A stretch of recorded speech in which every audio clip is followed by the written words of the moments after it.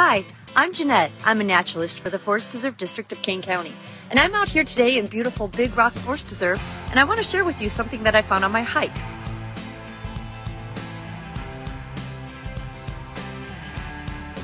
What we have here is a tree, a down tree, and I know this tree is an ash tree because of these D-shaped boreholes that we see here and also the tracks that we see underneath the bark la layer that was made by the emerald ash borer.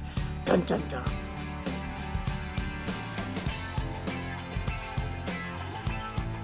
So moss, like we see right here, is uh, an ancient plant.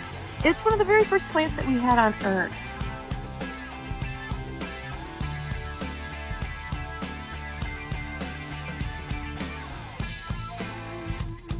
And it evolved out of algae that washed out of our oceans millions of years ago. And now there are over 10,000 different species of moss on every single continent, even the Arctic regions where it's a valuable food source for reindeer and caribou. Uh, humans have used moss for mm, thousands of years also. The Native Americans used moss for pillow stuffing uh, inside their babies' diapers. And in World War I, it was used for wound dressing. The other thing that we see here on this tree is lichen.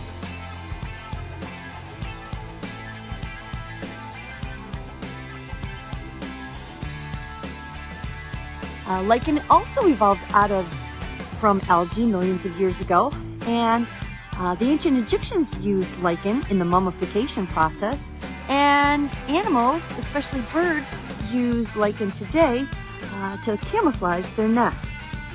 Lichen is a symbiotic relationship between two organisms, algae and fungus.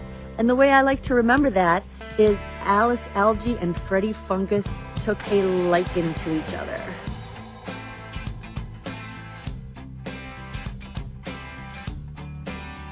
Lichen, actually, um, the algae produces the photosynthesis, and the lichen, the fungus, is what anchors the plant to its host. So they live together in perfect harmony, which is a lesson that we can take today from nature. Uh, I'm Jeanette. I hope you enjoyed this and are inspired to take a hike.